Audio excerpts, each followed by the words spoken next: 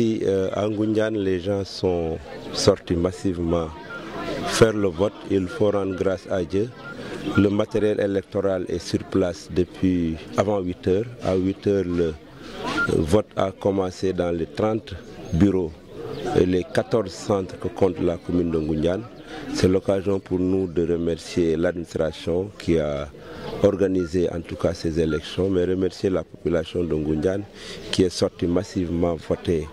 Effectivement, il y a des gens qui sont partis au champ, mais qui vont revenir certainement d'ici midi 13h pour faire le vote après.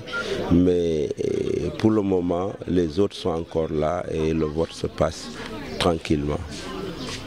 Moi, euh, je suis très confiant. À Ngundian, il n'y a aucun doute.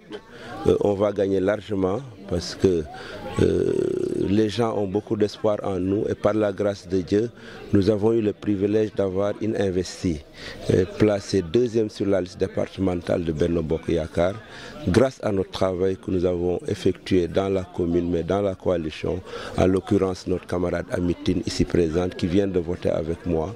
Et Ngundian va le plébisciter parce que c'est un espoir euh, que les gens ont placé à cette jeune dame qui va certainement représenter euh, dignement la commune de Ngundian et le département de Thiès et tous les Sénégalais au niveau de l'hémicycle parce que nous voulons en tout cas euh, que les fils de Ngundian se distinguent et nous avons choisi parmi ses fils et ses filles une dame de valeur, une dame très engagée, une dame du terroir qui connaît les réalités du terroir et Inch'Allah Rabbi qui va se distinguer positivement dans la prochaine l'électorat On n'est pas une commune très peuplée comparée à d'autres communes.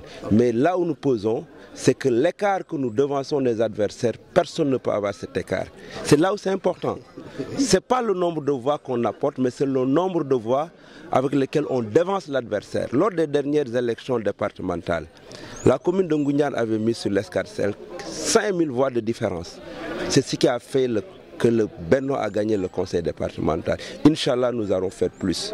Donc, on ne peut pas choisir d'avoir plus d'électeurs que les autres, mais on peut choisir de gagner mieux que les autres. Et c'est là où nous, en tout cas, allons contribuer davantage pour que le Benno gagne le département de Thiès.